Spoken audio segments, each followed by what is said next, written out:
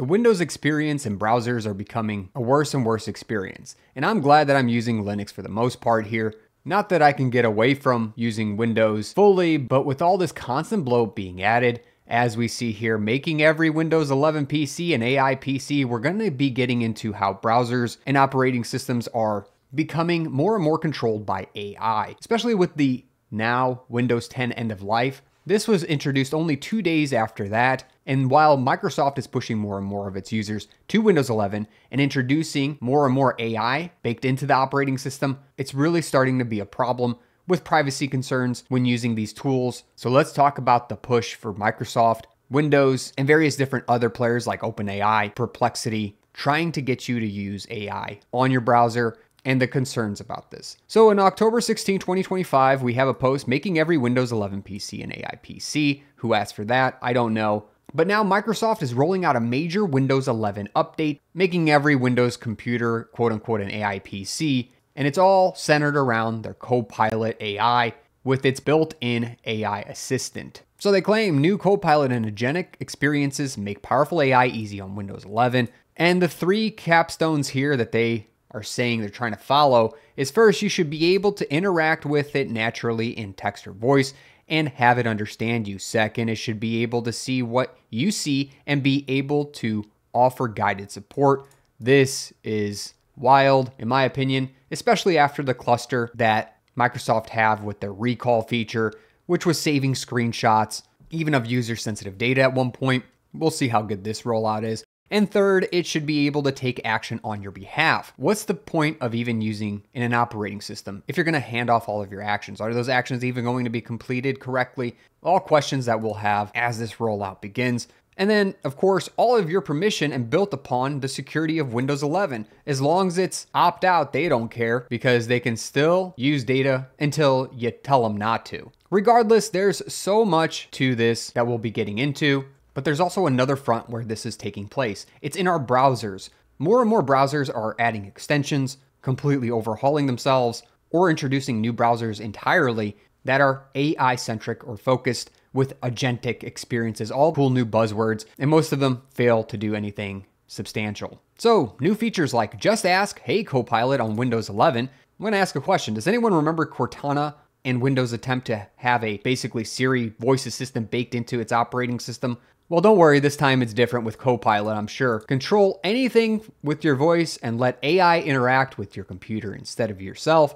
I don't know why companies keep trying to push for this voice AI assistant type deal. People just don't seem to use it, yet they keep trying to bring it back. Well, I would be naive to say I don't know why. I mean, it's another way for them to gather information and process voice data, which who knows how they would use to target more ads or other things towards you. Linux is starting to look pretty good right now, isn't it? Anyways, Copilot Vision on Windows is now available worldwide. What does it help you do? It's a full desktop and app sharing experience it can help you analyze content, provide insights to your questions and answers, coaching. It gives you coaching. Wow, everything. Highlights. With highlights, you can ask Copilot to show me how for a specific task and show you within the app where to click and what to do. Full app context in Word, Excel, PowerPoint, again, Microsoft products, text in, text out, giving the ability to converse with Copilot Vision using text, and much, much more getting added here.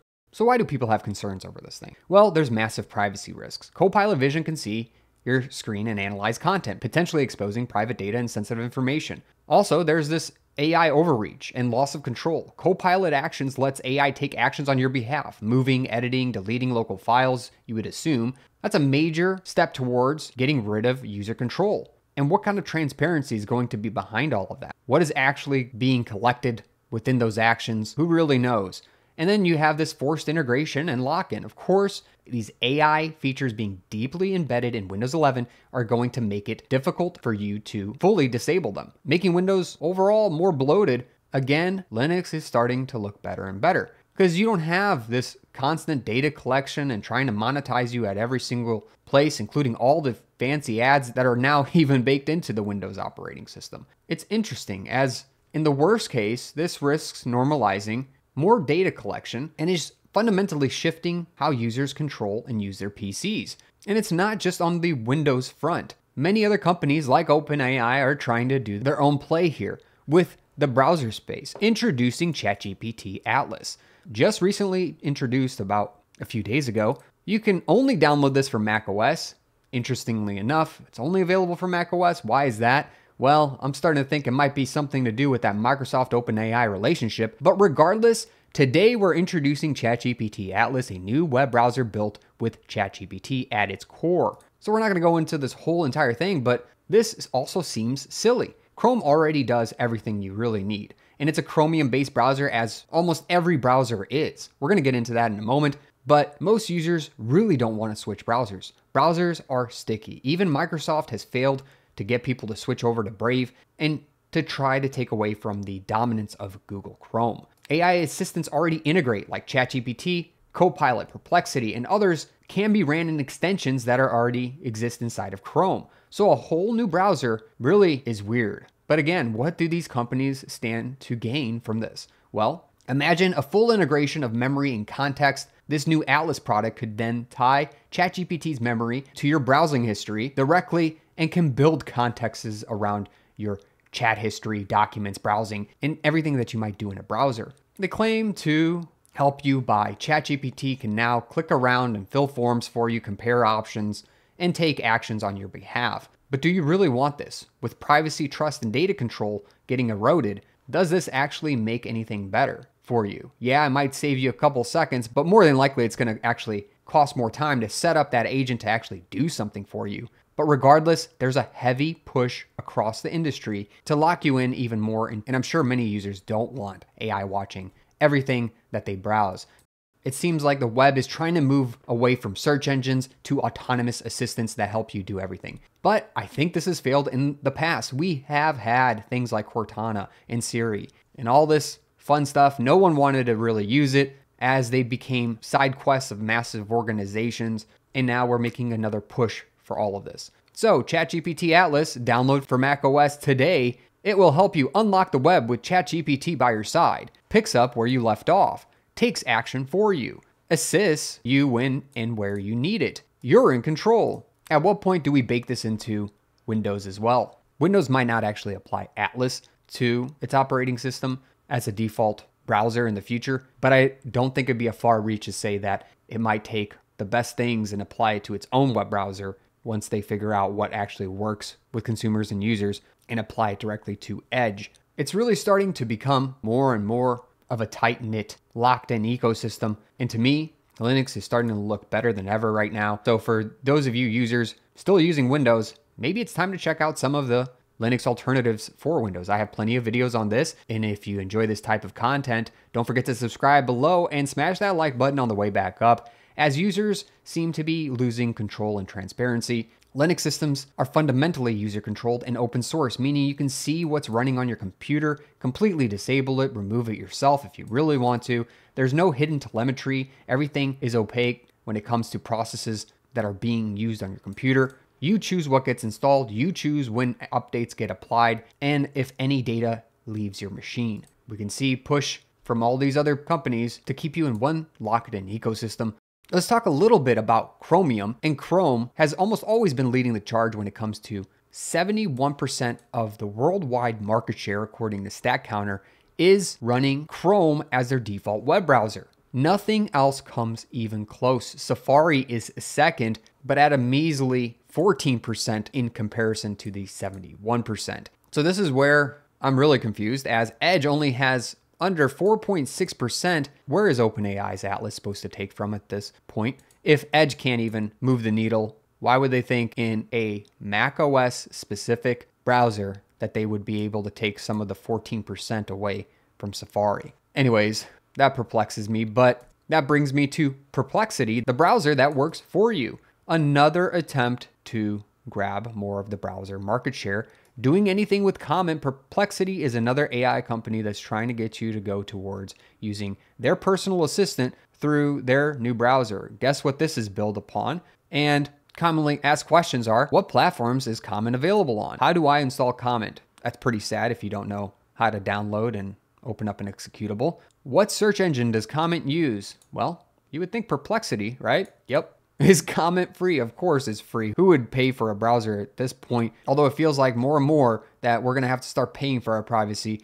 Anyways, let's talk Chromium. Chromium, for those of you unaware, is basically at the root of almost every modern browser experience today. Chromium is a free and open source web browser project primarily developed and maintained by Google. Go figure. It's a widely used code base providing the vast majority of code for Google Chrome and many other browsers, including Microsoft Edge, Samsung Internet, never have heard of that, and Opera. The code is also used by several app frameworks. Let's actually go down to the bottom because we have a list of some of the browsers that are based on Chromium that you've actually heard of instead of Samsung Internet. So here we go. Arc is a new build that a lot of people are talking about. Microsoft Edge is based off of Chromium. Also, some ones that are free and open source include Brave, that I like to suggest to people to use if they're trying to find a privacy focused, free and open source version of the Chromium browser. Unless you want to just build everything from source yourself, you can. Also, just use Chromium as your foundational web browser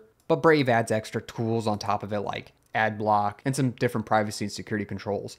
Anyways, Perplexity and OpenAI aren't the only companies trying to get to you on the web. Claude from Anthropic has introduced their Claude Code extension now that you can run in parallel with whatever you're doing on the web. And basically, it's an extension where you can interact with their AI as you work with projects and program. They've also been piloting the Claude for Chrome product, which is another extension.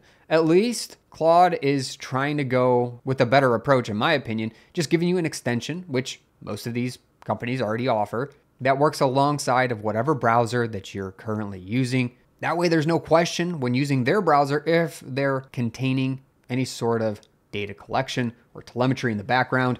I do want to shout out Mutahar for a deep dive into all of this over the last few days. There are a few videos worth watching as Mutahar goes into actually using some of these tools and explaining, well, how bad they are. First, we talk Windows 11. On Windows 11 just got way more bloated. I'm to put a link in the description below to all these videos. Definitely worth watching. Please don't download ChatGPT's Atlas, and this is going to be a controversial video.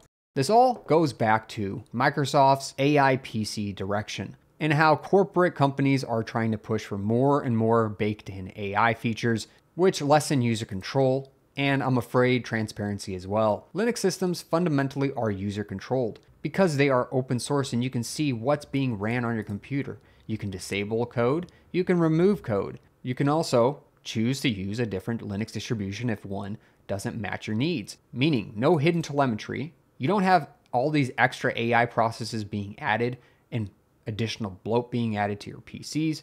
You choose what gets installed, you choose when to update, or what experience you would like. Most Linux distributions, including Ubuntu, Fedora, Debian, Arch, do not harvest your personal data or have you even connect to a cloud AI by default. If you want AI, yeah, you can add it in yourself, including installing local models that don't talk to the cloud. And there's no forced hardware upgrades. Recently, Windows 10 reached its end of life meaning older machines are basically being forced to abandon Windows 10 and move to Windows 11. And when they can't, because of some sort of hardware that's incompatible with Windows 11, you're forced to buy new hardware for all of these features that you may not want. Linux, on the other hand, will work on hardware even from decades ago. It lets you repurpose old computers and hardware and allows you to choose whatever you want to run on it. Linux has a massive global community that's concerned with these types of additions to their operating system. The computer is truly yours with Linux, so I'm just suggesting as things get more and more bloated, specifically on Windows, think about at least trying Linux at this point, especially if you're concerned about your privacy, the control you have, if you have older hardware, or you're worried about lock in. These are all great reasons to start checking out Linux. And of course, I have plenty of videos to start your Linux journey on this channel. I'd love you to follow along. Don't forget to subscribe below, smash that like button. If you're ready to level up that Linux experience, I do have a checklist, cheat sheet, and mind map all available at savvynik.com. Check that out today. Catch me in a great community on Discord, and I'll catch you in another video. Thanks for watching.